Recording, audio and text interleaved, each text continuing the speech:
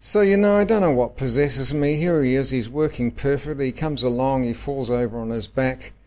I don't know why I can't just leave these damn things like they are. Um, for all intents and purposes, I'm finished here, but I couldn't help myself. I didn't like the way his bum was sticking up in the air like that. Uh, so I've gone back uh, into the armature, the main armature, um, uh, opened up the layer with the animated uh, bones in it, selected the hip bone,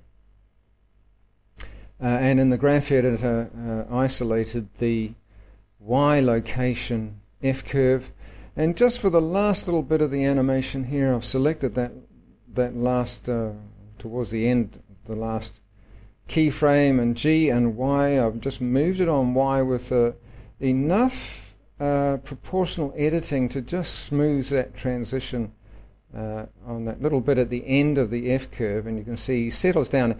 I've got to say, he does uh, settle down much better uh, onto the ground now, settling into the wrinkles of his jacket. We've got a little bit more poking through at the back, but here, look at this. We go back to the beginning and, and scrub through, and bugger me, there's a, there's a great patch of white under his left arm there that appeared out of nowhere. So, uh, for the life of me, I don't know where that's come from. It, uh, when I moved the, uh, the hip bone, I, you know, I don't know, I'm, I'm flummoxed. Before, when we played through, uh, you, you, could see that there was nothing there, but uh, it's taken exception to that. So here we have an opportunity, like I did with the tie, we have an opportunity to look at what's involved sometimes with just tweaking these animations. So I've gone into time lapse here just to get through this whole process. You don't need to see it step by step. Uh, but you can see, even though it's sped it up, I'm, I'm uh, selecting empties, moving them around, trying to get the uh, bones that are following them with IK constraints to in turn uh, shift out. Uh, I've sometimes adjusted the rotation of bones. Uh, I get almost completely done and then I go forward a few more frames and there's another little patch of uh, white under the arm here there, look at that damn thing was driving me mad for ages. This tiny little patch, I should have left the damn thing.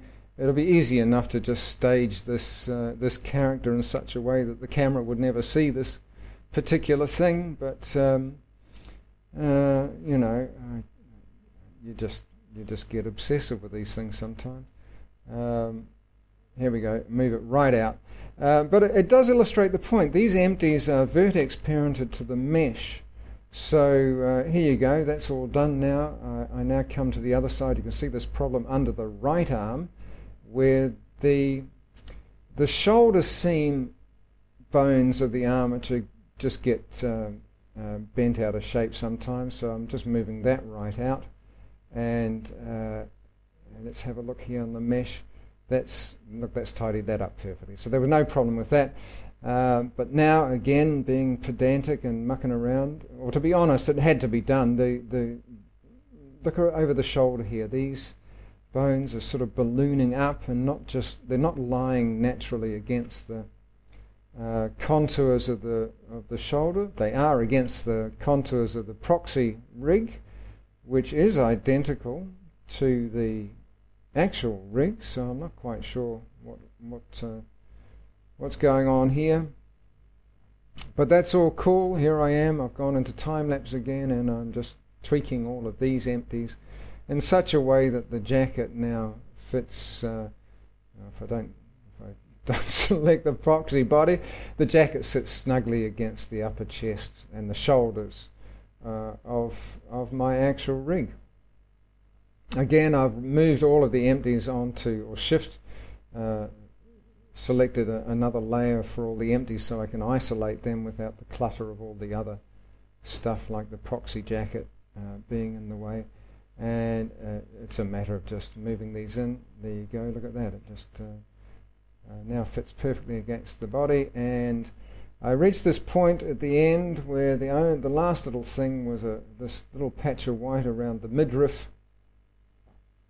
here, uh, and it's again just a matter of finding that empty uh, and uh, in this case it's sort of slipped up past the end of the bone that has the IK pointing to it. So just just slide the, the empty down. Uh, it's still parented to the uh, proxy jacket mesh so as that moves so will the empty but from a position just a little further down. Uh, again this little bit here just to move the collar away from the uh, tie at that position. Or did I actually leave it because it's only there for one frame or something? Uh, um, play it through a few times. So that's finally all good. I think uh, at the end I I, um, uh, I, I didn't have to do all this but uh, you know how it is. So here's my final animation and I'm finally exporting it out to MDD. So file, export MDD, uh, navigate to the folder where I keep these things, name it banana slip. Uh, that's my uh, the name of the uh, the action, uh, and export that out. MDD is a point cache file format. What it does is store the animation data of all the vertices of the mesh. So uh, now we've done that, we've, we've exported out the, um, the animation data of this mesh. On this separate layer, I have a copy, exact copy of that mesh. There you go, weeman.001. Here is weeman. Uh, so it's an exact copy of the uh, my original mesh. As it happens, all my characters in the scene are the same character. So I've got a crowd of these wee salary men uh, going off to work, shuffling off to work. Uh, here you can see the, the copied mesh has got no vertex groups. I've cleared all those off. All the shape keys are off. Uh, there are no modifiers on it. The, the armature modifier has been removed. You've, you've just got a mesh there now. Uh, so back in the modifiers panel, we're going to add a mesh cache modifier and navigate using MDD files, navigate to that MDD file we just exported out, banana slip.mdd, accept that, and there you go, there's the opening uh, pose of our character. Uh, um, um, slightly offset, remember we, we offset the animation by 20 frames to settle into the opening pose, uh, and those are the frames we exported out.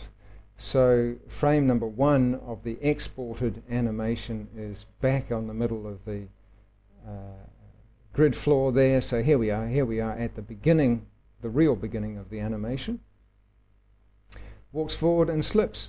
So there's no armature involved here. It's just purely the mesh animated by an MDD file. It's much smaller in size and much less complex and much easier for Blender to handle. Uh, you can have a whole crowd of these things uh, using far less resources than if they are all uh, animated by armatures and, and uh, keyframes and so forth. So uh, that's cool. So uh, there he is uh, on his own little layer doing his thing. all that's left now is to just tidy up the mess. So here's my original character.